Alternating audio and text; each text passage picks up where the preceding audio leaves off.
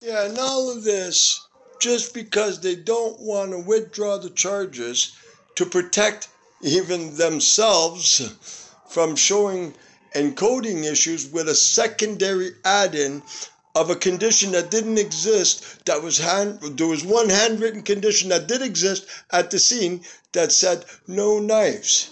But disclosure from there also states three knives were found in the car the car that was seized illegally i might add in ottawa now when i was released at the scene it said it had a line like this said no knives a line like this, closing it off, like uh, you know, like writing a check, whatever, just to what, like with a squiggly line. But this one they use lines like this. Then beyond this line, they added in sharp edging. In the disclosure, it doesn't state anything to justify them adding that at the original scene. The original release was only no knives. They added that in to justify the false arrest that they did in St. Catharines.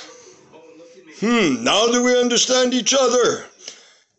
Both cases coincide together for the ultimate win.